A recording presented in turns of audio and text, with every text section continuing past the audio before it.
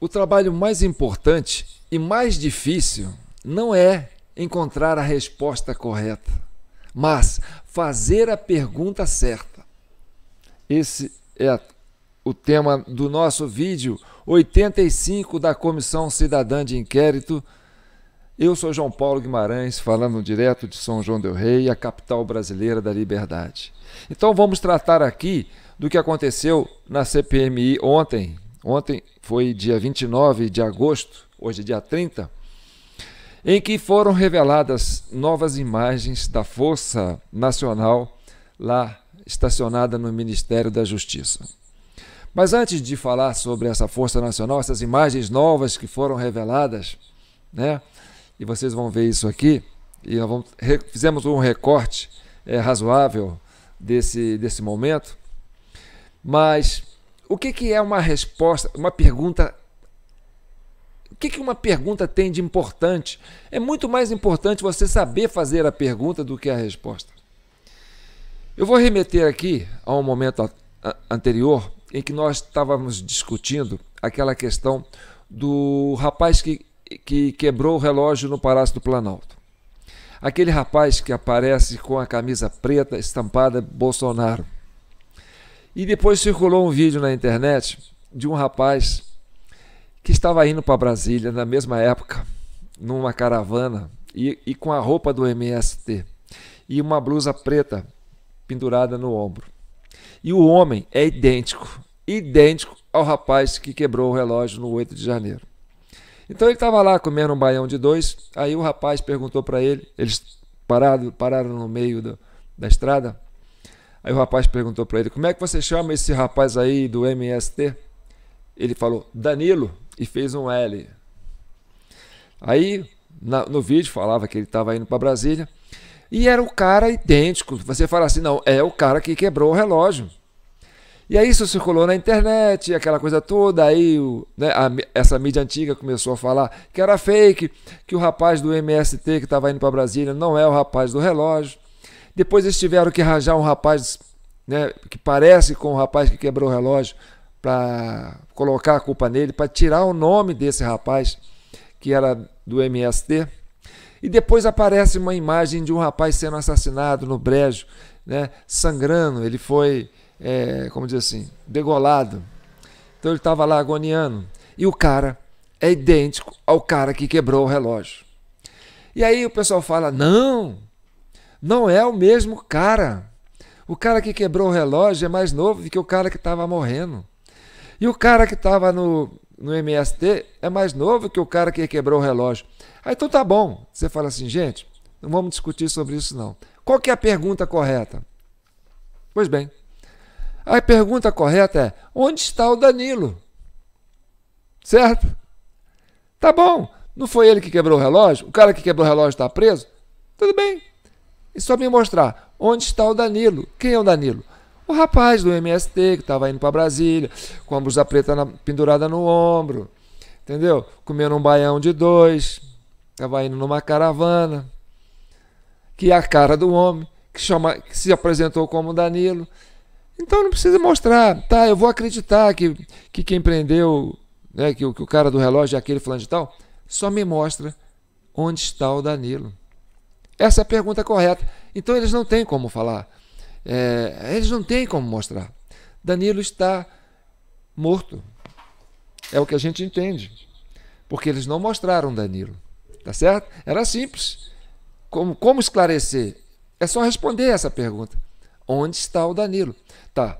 Agora vamos para o momento atual em que a CPMI é, revelou novas imagens né, do, da Força Nacional em frente ao ao, ao, ao Ministério da Justiça. Lá, parada de boa. Vamos lá, acompanhe esse trecho. Que não...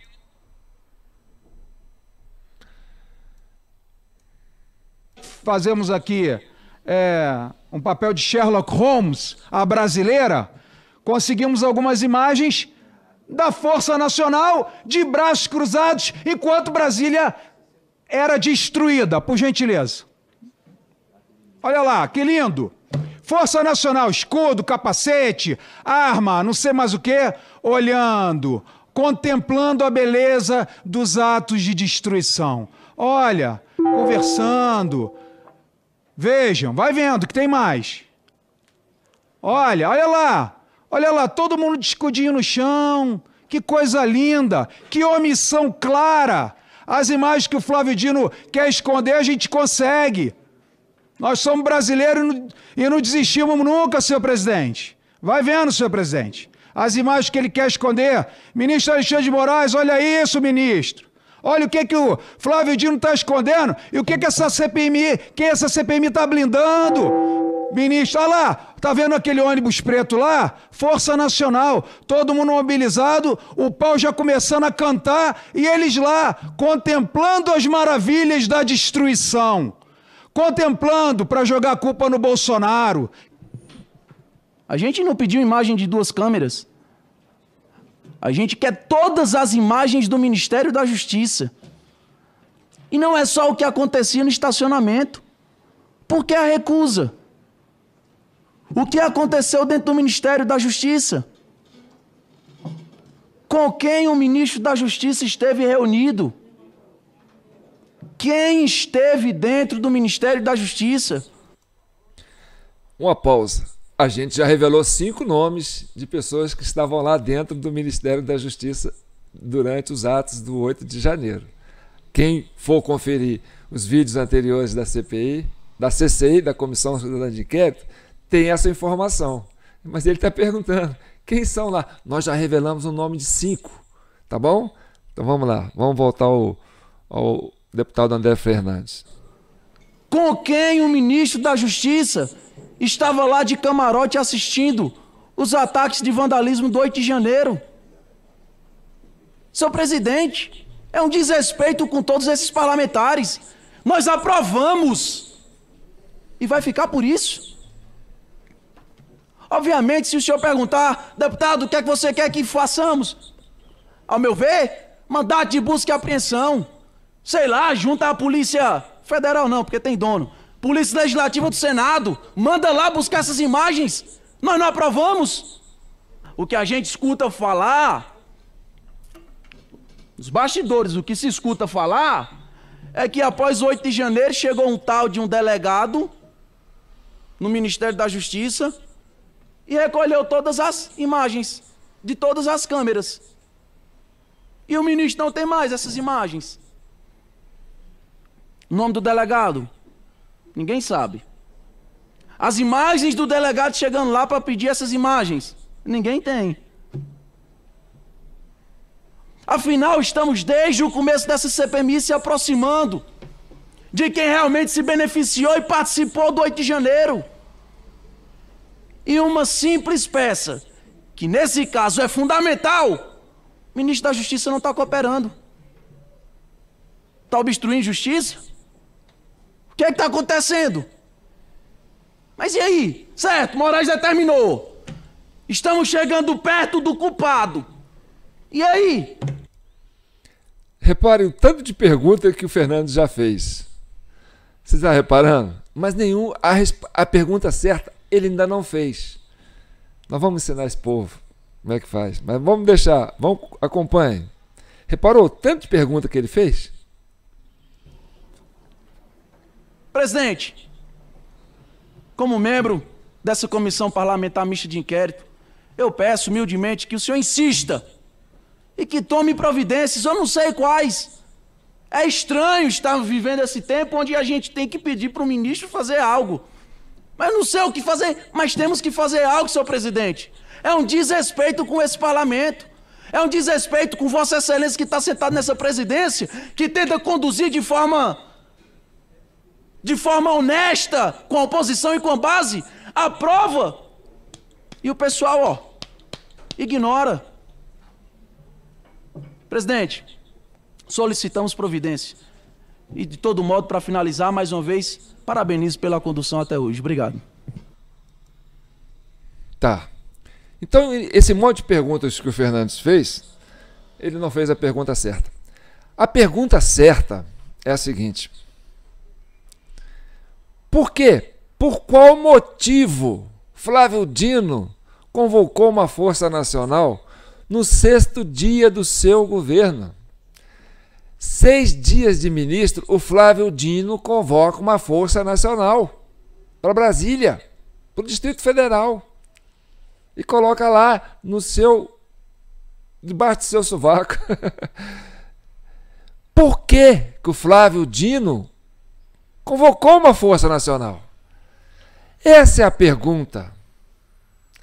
Não é quem estava lá dentro. Não é por que, é, é, por que, que a, a, a, força estava lá na frente do, do Ministério Escondida. Por que, que se omitiram? Por que, que o governo se omitiu? Prevaricou? Não é essa a pergunta. A pergunta é: por que, que o Flávio Dino convocou uma força nacional? Qual foi o motivo que Flávio Dino utilizou para poder convocar uma força nacional no dia 6 de janeiro? Se já tinha tomado posse, o governo Lula já estava no poder. Ele tinha um motivo. Seria esse motivo prender os patriotas que estavam no QG? Seria para isso que a, Flor, que a Força Nacional foi convocada? Porque para proteger os, os três poderes, a gente sabe que não foi. Tanto que mostrou que ela estava ali, passiva, enquanto os três poderes foram atacados. Então, o que a gente entende é que o Flávio Dino tinha uma intenção.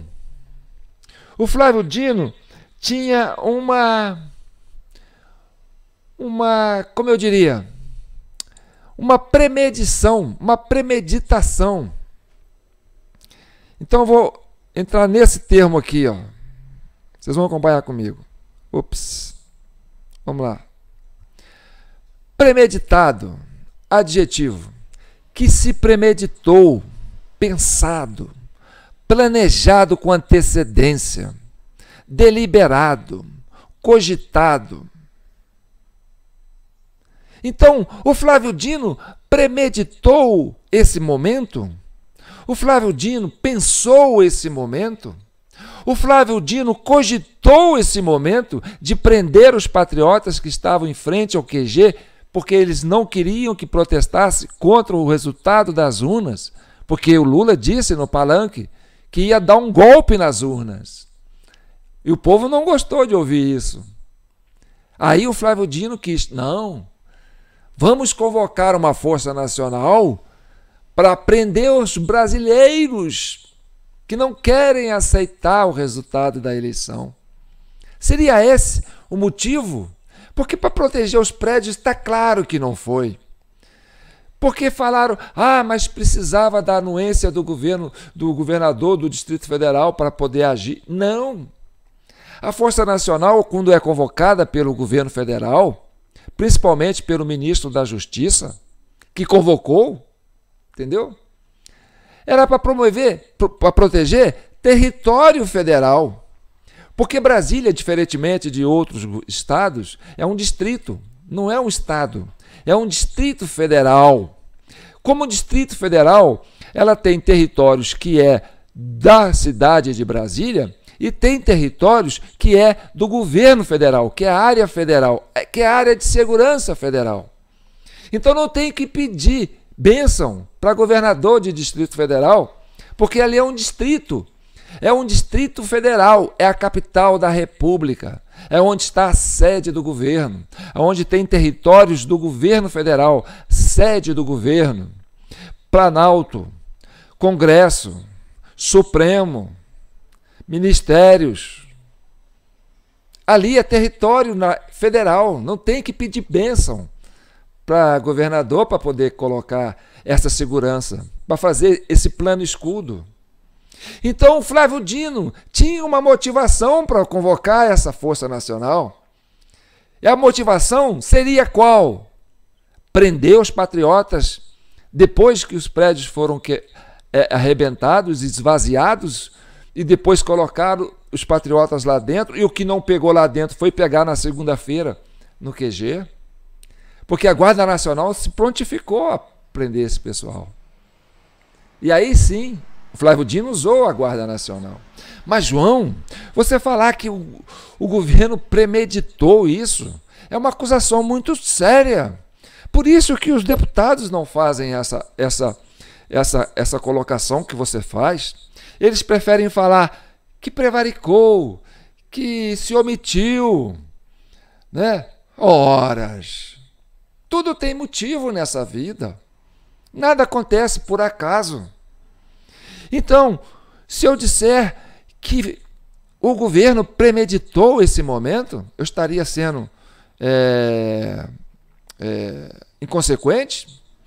Se eu disser que o governo pensou isso, eu estaria sendo inconsequente? Se eu dissesse que o governo planejou isso com antecedência, eu estaria sendo inconsequente? Se eu pensasse que isso foi pensado de forma deliberado, isso foi deliberado, isso foi cogitado, pensado, cogitado, é o mesmo que premeditado. Então, qual a motivação do Flávio Dino de convocar uma Força Nacional no dia 6 e deixar a Força Nacional passiva para depois prender os patriotas no QG com a Força Nacional? Mas, João, isso é muito sério. Olha, você dizer, você dizer, dizer, dizer que houve omissão, que houve blackout, que houve apagão, você está sendo um pouco mais sensato. Mas você disser, disser, disser, oh meu Deus do céu, se você ficar falando que alguém pensou isso antes, que isso foi pensado, que isso foi cogitado, que isso foi imaginado, João, você está abusando. Então vamos lá. Não sou eu que digo. A internet é que diz. Vamos lá.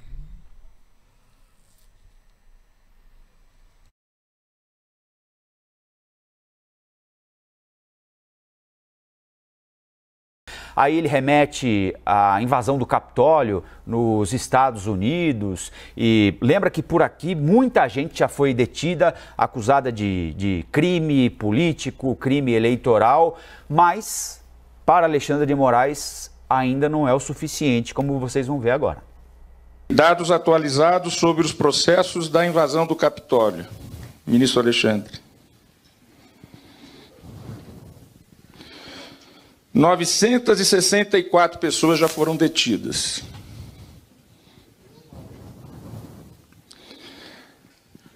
Nos 50 estados e acusados de crimes cometidos desde 6 de janeiro. 465 fizeram acordos se declarando culpados com o Ministério Público.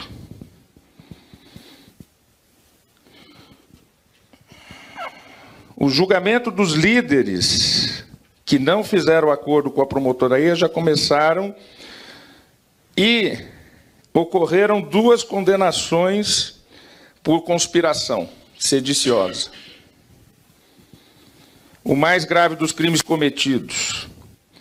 Penas ainda estão sendo, para, estão sendo definidas, mas podem chegar a até 20 anos de reclusão para aqueles que não se declararam culpados. Antes de dizer o que eu ia falar, eu fiquei feliz com a fala do ministro Toffoli, porque comparando os números, ainda tem muita gente para aprender e muita multa para aplicar. Ouviram? Ainda tem muita gente para aprender e muita multa para aplicar. 12 de dezembro de 2022. Alguém pensou isso? Alguém cogitou isso? Alguém premeditou isso? Então vocês é que vão responder. Vocês da Comissão Cidadã de Inquérito, porque nós somos a sociedade e é contra a sociedade que esse sistema se atuou. É contra a sociedade que eles estão inserindo esse, esse movimento agressivo. Entendeu? E nós aqui, eu representando vocês, 1.500 internautas que me elegeram presidente dessa Comissão Cidadã de Inquérito. Porque aqui a gente é a voz da do cidadão, é a voz da sociedade. E a sociedade que está se fazendo presente nesse momento, porque é contra a sociedade brasileira que esse sistema está se levantando. Não é contra Bolsonaro. Bolsonaro estava na, na, na Flórida, saiu muito antes de terminar o mandato dele. 1 de janeiro, posse do Lula. 8 de janeiro, Lula presidente.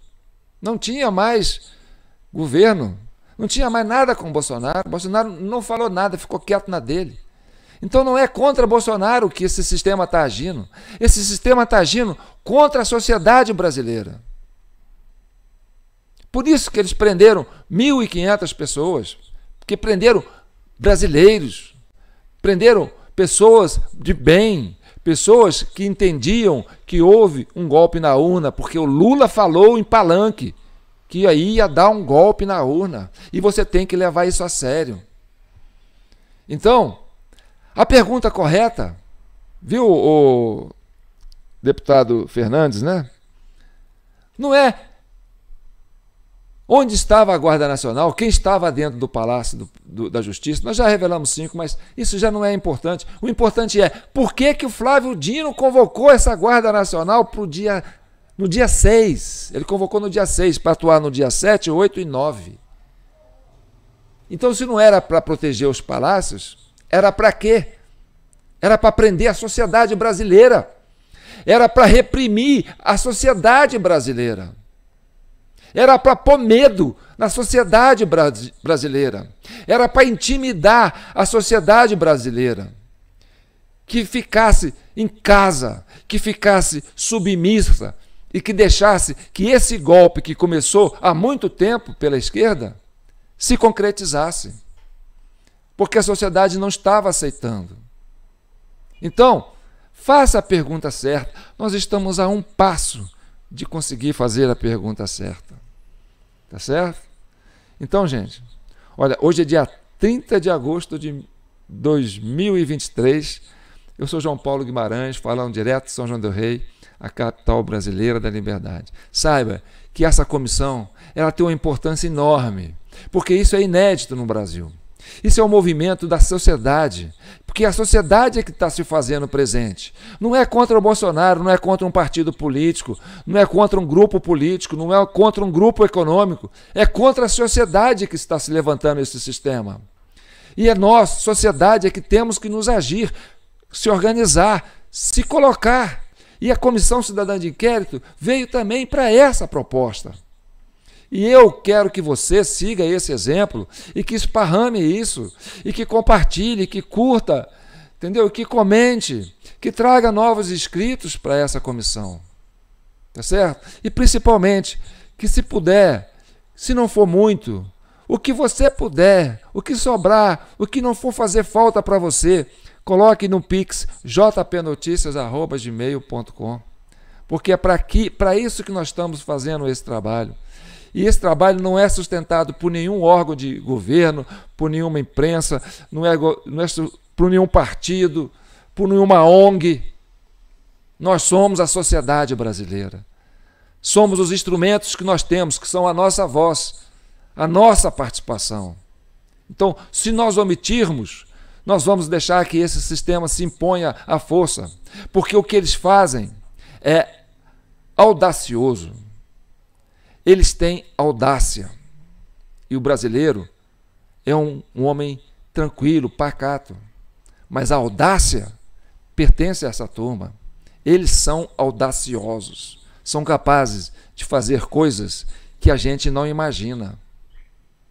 Por isso, nós não podemos ficar omisso nesse contexto e apostar com todas as fichas não em derrubar governo, entendeu? Em encontrar a verdade, esclarecer os fatos, desmoralizar esse sistema que está aí se colocando de uma forma arbitrária contra a sociedade brasileira.